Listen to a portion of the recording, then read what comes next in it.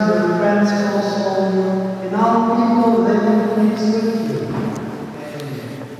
May yours never is the love of God in this world. Saw the afflicted and the needy, with fire and transgress and love and the joys of heaven.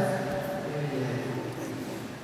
And may Almighty God bless you, the Father, the Son, and the Holy Spirit. Amen. This was which presented,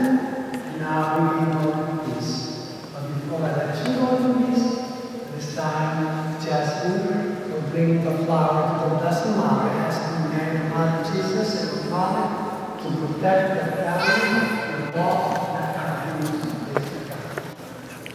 Please be seated.